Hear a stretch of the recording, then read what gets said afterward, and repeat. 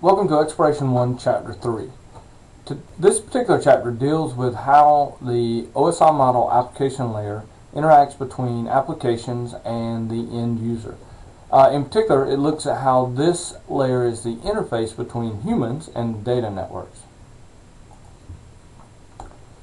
Human network generates data, and that's, the human network is a Cisco marketing term, but it really comes down to humans generate data.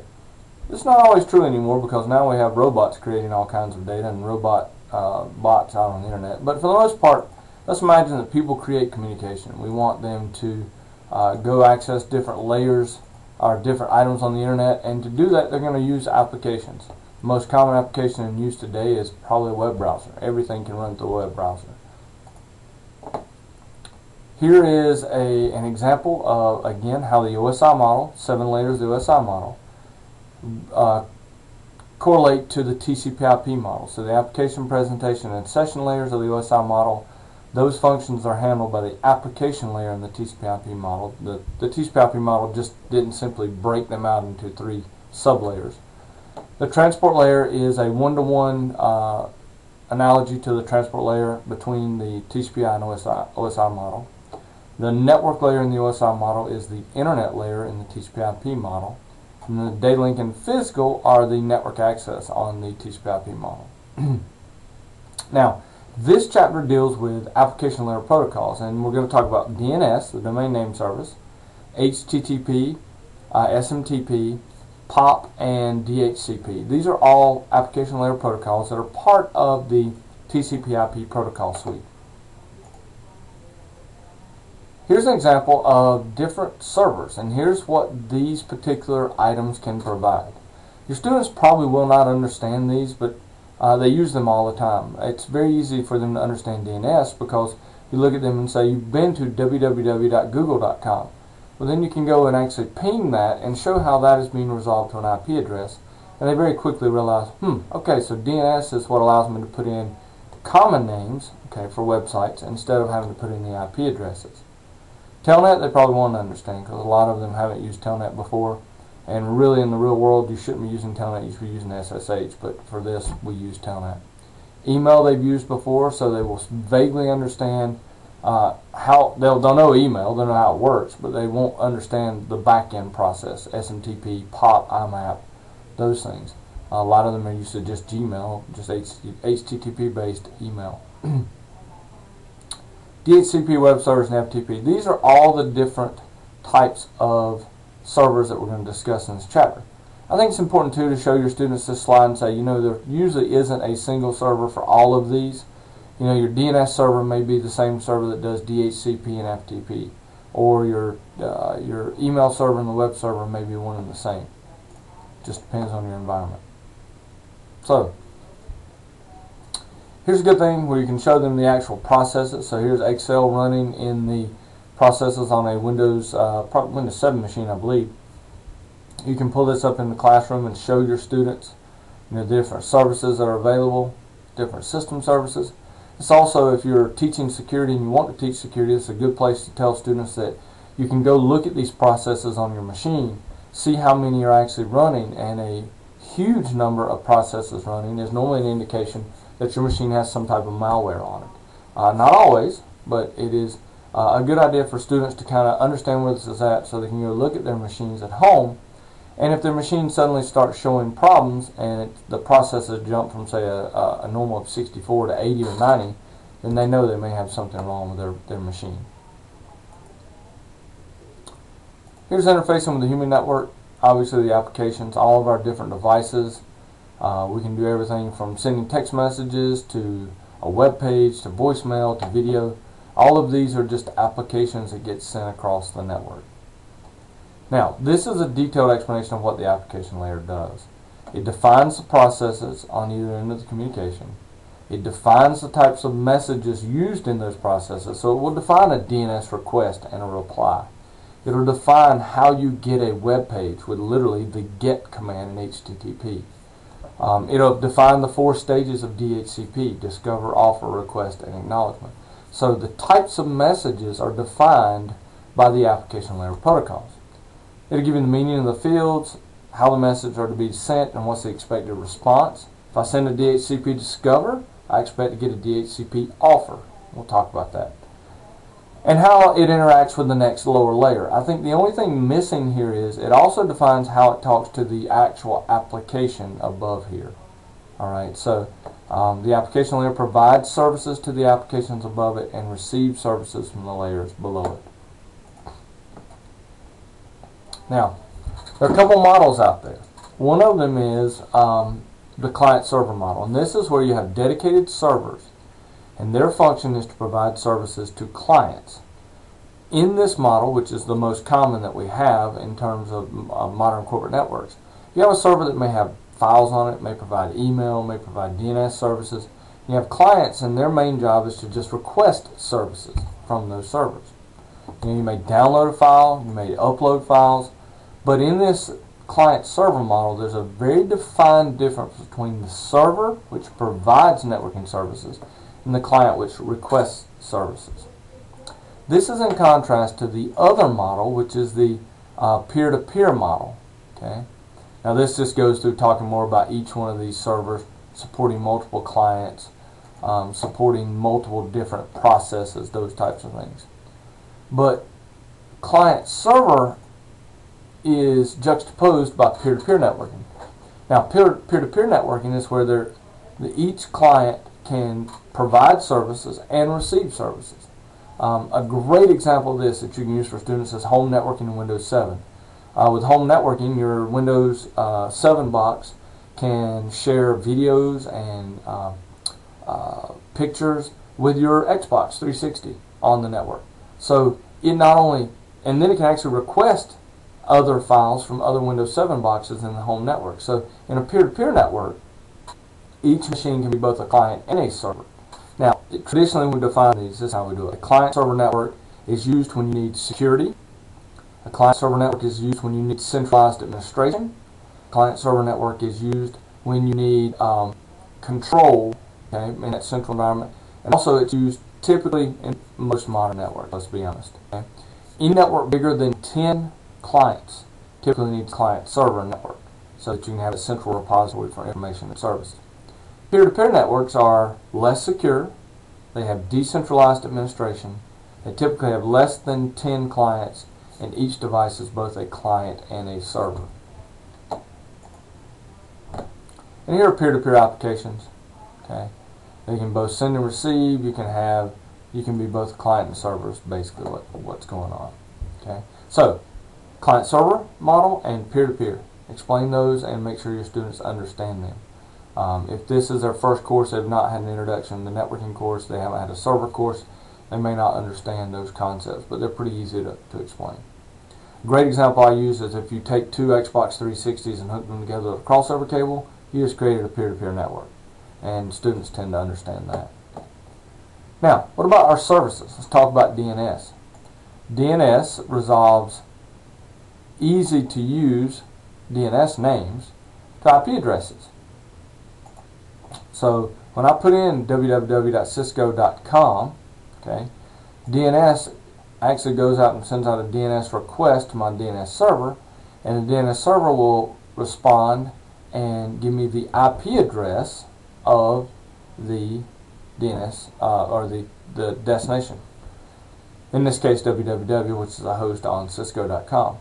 The thing about this for students at this point, they may not know what an IP address is, so you probably need to take a few minutes to discuss what an IP address is, how it's kind of like a phone number for a, uh, a host on the internet.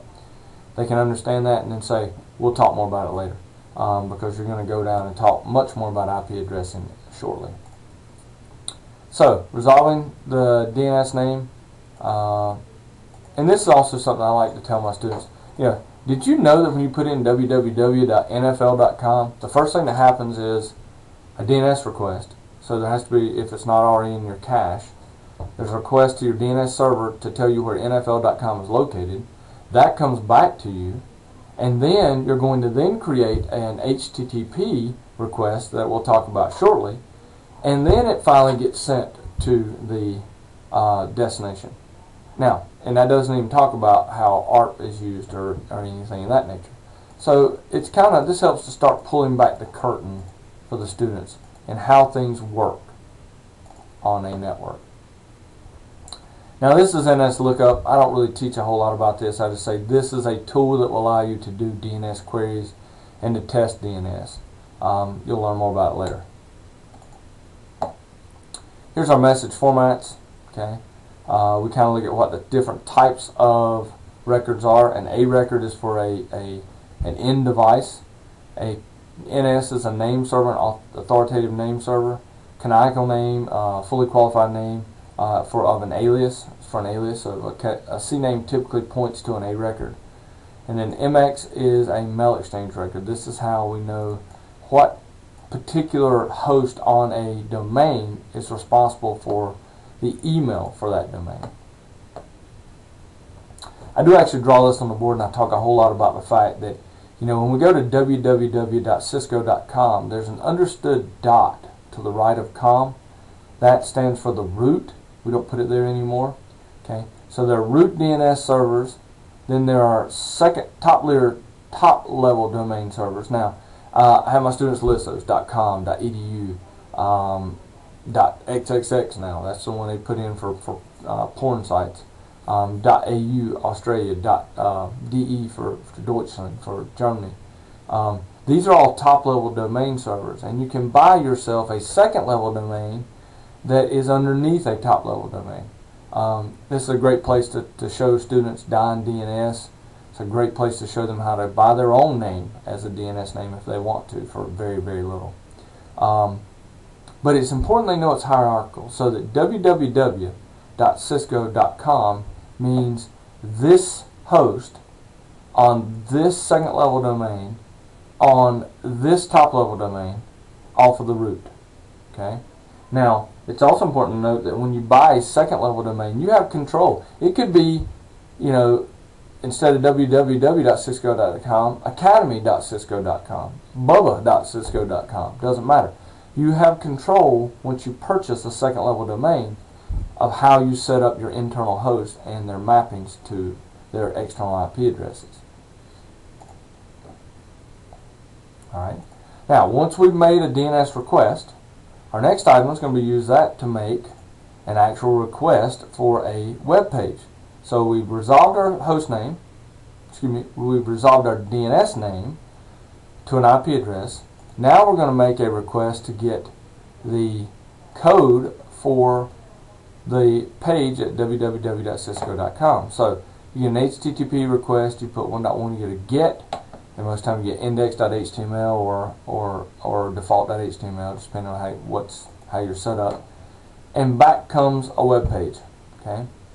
Now, so, one of the things we need to do is make sure the student understands we made the DNS request, we can resolve this to an IP address, that takes place, we formulate, we encapsulate it using the rules, we then send it across and we expect an application level response to our request and that will give us a web page back. Now in the actual lab for, the, for this particular chapter, when you do the lab it has you go through and do an, a, a request to the Eagle server web server and it will show you the capture of the packets going back and forth between the two. It's a little advanced for these for your students at this point, but it is good for them to see the actual GET request so they can see how the GET index.html works. So this will allow them to see how that page is requested and how it gets res uh, actually responds to the client to get that request back. Okay.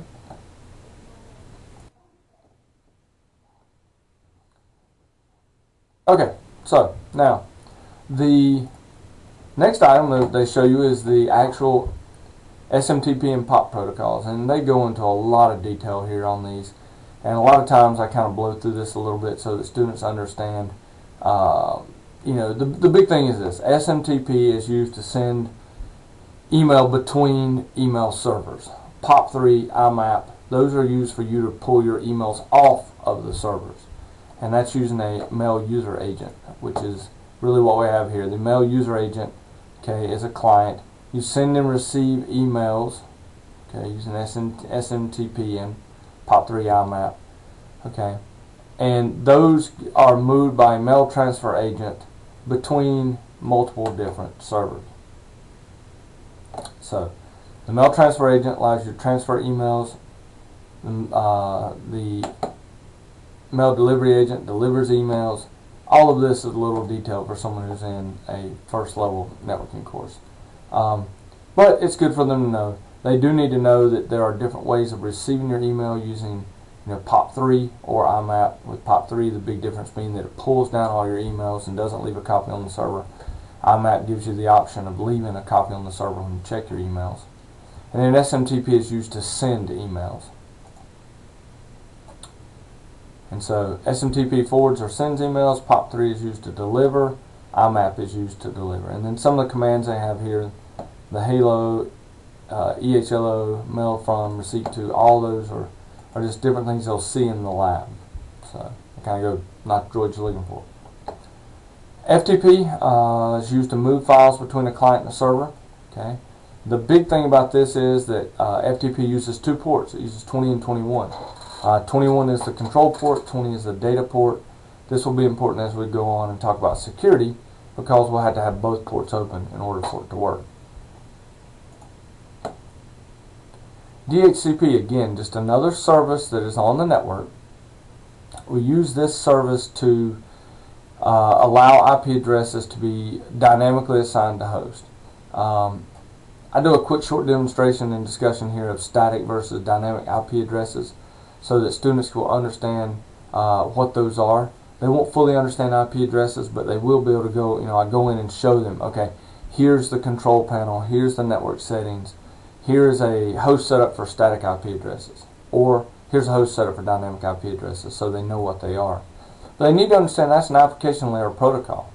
And for it to work, there's a three-step process using what we what I call good old Aunt Dora, the discover, offer, request, acknowledgement. Um, DHCP discover from the client, the server responds with an offer, there's a request, there's acknowledgement. For the students say, we'll go over this a lot more and we will go over a lot more as we move throughout the semester. File sharing, this is uh, what allows a Windows-based machine and some Linux machines with uh, Samba installed to share printers and files and be a file sharing resource for clients. Again, just another application layer protocol. Here's an example of copying files between two hosts. Now, obviously, if this is just two clients, this would be a peer-to-peer -peer network. Okay, and so you could explain that to your students. Yes, you can actually use a peer-to-peer -peer network with SMB. It doesn't have to be a server-based network. It can be a, uh, in fact, it could be Windows 7 machines running home group. Other peer-to-peer -peer applications are uh, a sundry. All the P P2P apps, uh, they're out there. BearShare, LimeWire, Morpheus. Uh, this is pretty much your best way to get a virus on your machine in a hurry